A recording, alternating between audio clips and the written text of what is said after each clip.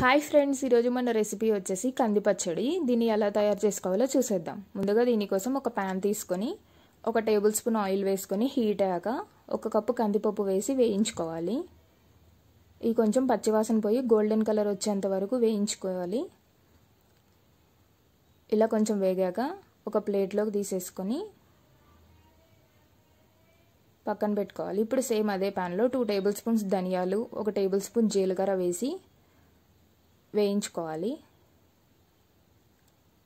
ఇలా కొంచెం వేగాక ఇందులో పన్నెండు ఎండుమిర్చి కూడా వేసి కొంచెం దోరగా వేయించుకోవాలి.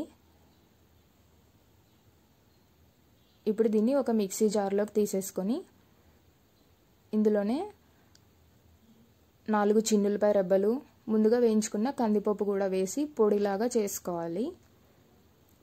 ఇప్పుడు ఇందులో టేస్ట్కి తగినంత సాల్ట్ ముందుగా నానబెట్టుకున్న చింతపండు వేసేసుకొని ముద్దలాగా చేసుకోవాలి.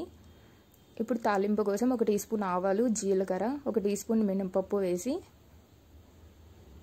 ఒక ఎండుమిర్చి కొంచెం కరివేపాకు కూడా వేసేసి మనం ముందుగా గ్రైండ్ చేసుకున్న పేస్ట్ని వేసుకోవాలి. ఇది కొంచెం గట్టిగా ముద్దలాగే ఉంటుంది.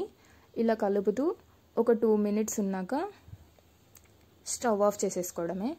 ఇలా సర్వ్ చేసుకుంటే మనకు కందిపచ్చడి అనేది రెడీ అయిపోతుంది. దీన్ని రైస్లో కానీ ఇడ్లీలో కానీ దోశలో కూడా బాగుంటుంది. ఈ రెసిపీ కానీ మీకు నచ్చినట్లయితే లైక్ చేయండి షేర్ చేయండి సబ్స్క్రైబ్ చేసుకోండి.